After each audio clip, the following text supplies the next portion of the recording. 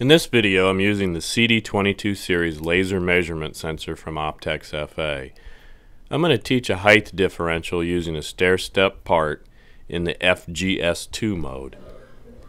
First thing you do is you press the set button to go into the teaching mode.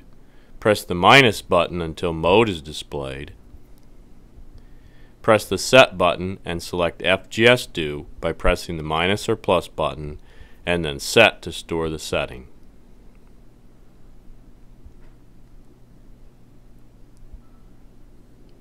Press the minus button and FGS2 will be selected. Place the part under the sensor. This is the teach point. Press the set button and the sensor will be taught. Press the zero run button to go back into the run mode.